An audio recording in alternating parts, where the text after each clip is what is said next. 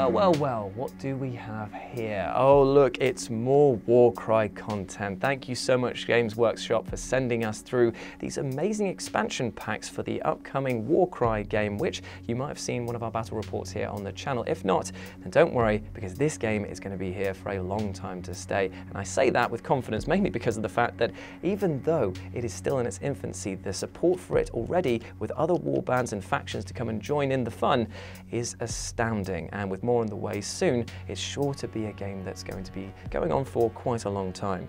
But thanks to Warhammer and their community for sending this in, it means that I can now unbox these four packs for you right now to give you a little sneak peek of all the chaos, death, and destruction that is on its way. Now let's start off the only way I know how by with a Jules opening some ghouls and we'll go and see what's inside the Flesh Eaters pack. Well, that actually took me a lot longer to open than I thought. A grown 31-year-old man struggling to open a pack of cards. Yeah, this is uh, definite flashbacks to when I started collecting Magic. But yes, you might think to yourself that they've given you tons of duplicates, and then you think to yourself, this isn't Yu-Gi-Oh! I don't need these amounts of cards. Well, get rid of the ones that you, the languages that you don't speak, and hold on to the one that you do. I barely speak English, so we'll hold on to this one, and we'll see that the Flesh Eater Courts can be made up of Crypt Haunters, Crypt Flayers, Crypt Infernals, Crypt Horrors, Crypt Ghouls, and Crypt Ghasts personal favourite. Look at them, aren't they adorable?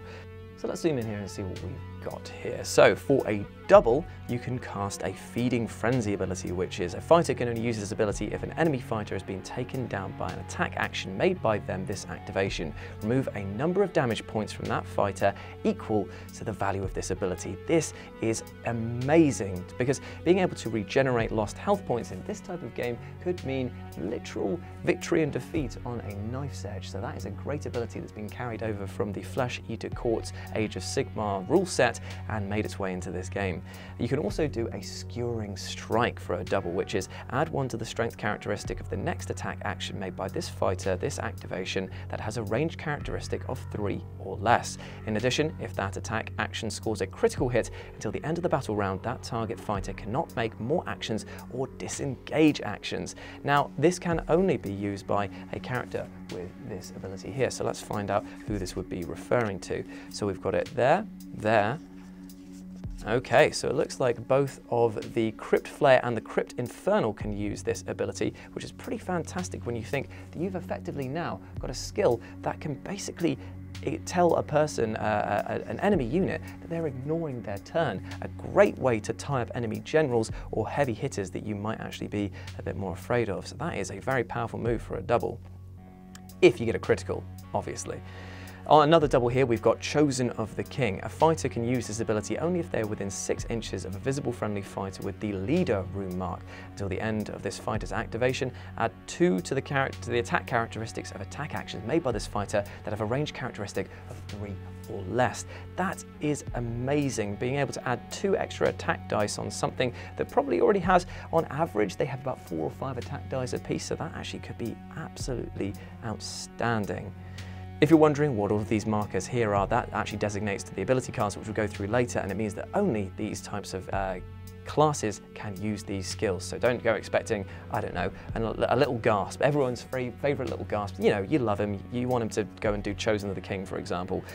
But we've got the first triple here, which is Bringer of Death. Add the value of this ability to the move characteristics of friendly fighters within 6 inches of this fighter when this fighter uses this ability until the end of the battle round. So that is amazing if positioned correctly. If you pop this off, and you've got a group of people around you, you could do effectively very large turn one charges, getting onto, ability, onto uh, objectives and even tying up enemies in an incredibly quick fashion. A perfect move for the first turn if you want to get all crazy and up on the offensive, which if you're playing Flesh Eater Courts, that's pretty much all you know.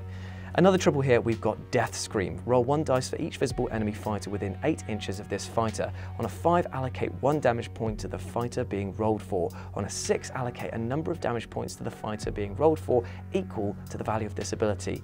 A range 8, potentially doing, if you've planned this well, and that is a triple 6, potentially doing 6 damage right there that's very good. There's not too much range going on at the moment apart from the First Fang's harpoon and a few other things that get maybe three inches or more, but eight inches is a very, very powerful ability indeed. And finally, we move on to the quad. Oh dear.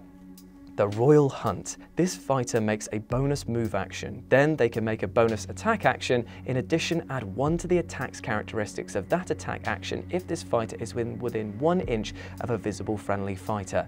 Being able to make a bonus move and a bonus attacks with an extra one attack dice is insane if you've got something that will pop off with big damage hits. But what will do the most damage? Well, let's take a look at the ability cards that we've got in this pack.